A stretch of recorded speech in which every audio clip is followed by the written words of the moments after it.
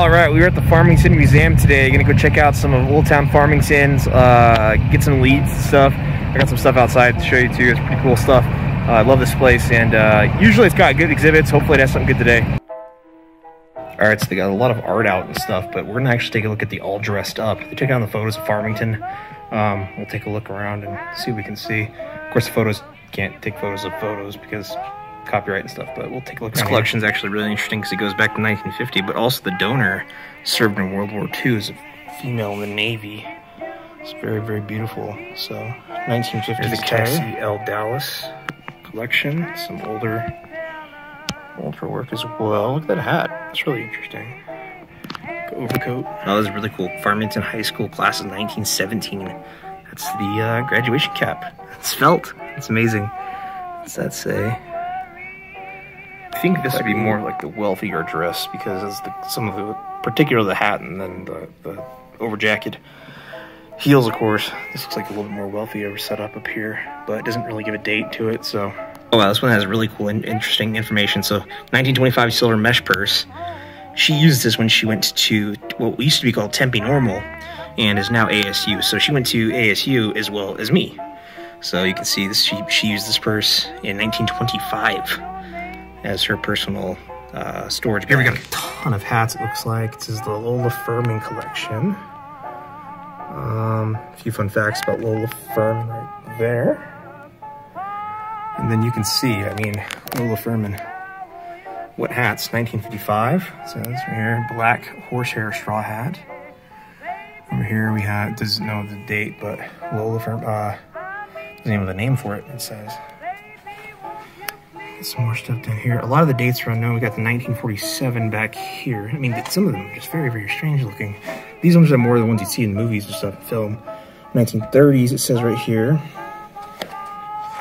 1955, this one. 1930s, 1955, and then now we have another. Uh, it says that's that's a a uh, part of the Verla Nightingale collection, but it doesn't have a date as well. See here, straw hat from 1930s.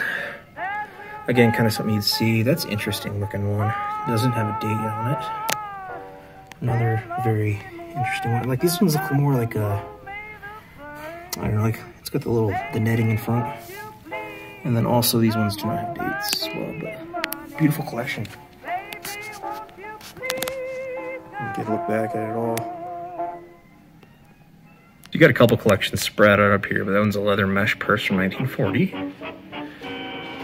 And then we have a 1930s edition hat. And then, of course, 1940s wedding dress. So they don't look quite like they do today, of course, but still pretty. Let's see down here, 1940s leather mesh shoes.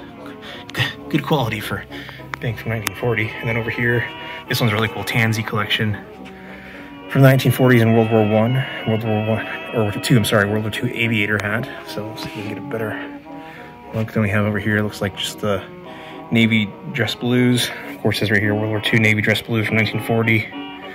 And uh, here's a better look at it all. There's another pretty large section, but it doesn't really have dates. This one looks like 1960 or something, so a little bit forward ahead.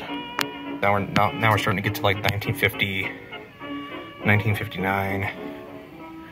Uh, starts to get more and more. That one's kind of interesting. 1930, what is that? That's interesting. Get some really, really interesting stuff in here. Hat box. Apparently they had hat boxes for your hats. 1935, here we go. Worn by opera singer Edith Mason.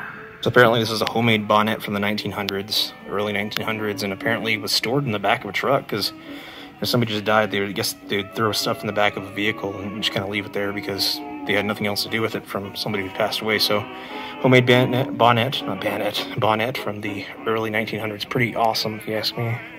I thought this was pretty interesting. It says patio hosting dress 1972. So I think we're talking about this one a little bit more colorful. Got the flowers on it. Pretty cool. Seldom seen. Apparently there's art back here that is, is only been seen in prior priorly in big shows. So I'm uh, pretty honored to be back here being able to check it out myself. Medicine Man, it's beautiful.